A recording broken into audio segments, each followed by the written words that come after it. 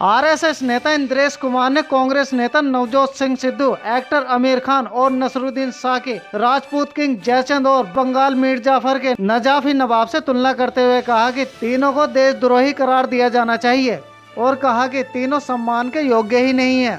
इंद्रेश कुमार ने एक कार्यक्रम के बाद मीडिया से बात करते हुए कहा कि भारत को अजमल कसाब जैसे मुस्लिम युवाओं की ज़रूरत नहीं, जो 26 ग्यारह हमले में ज़िंदा पकड़े गए इंद्रेश ने कहा कि भारत को कलाम ने जो रास्ते दिखाए हैं, उन पर चलने वालों की ज़रूरत है। जो कसाब के रास्ते पर चलेगा, वह देश देशद्रोही कहलाएगा।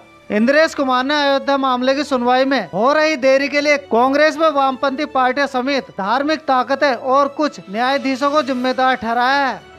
उन्होंने कहा, राम मंदिर निर्माण में देरी की पहली वजह कांग्रेस, दूसरी वामपंथी पार्टियाँ, तीसरी धार्मिक ताकतें और चौथी कुछ जज हैं। जो फैसले में देरी कर रहे हैं।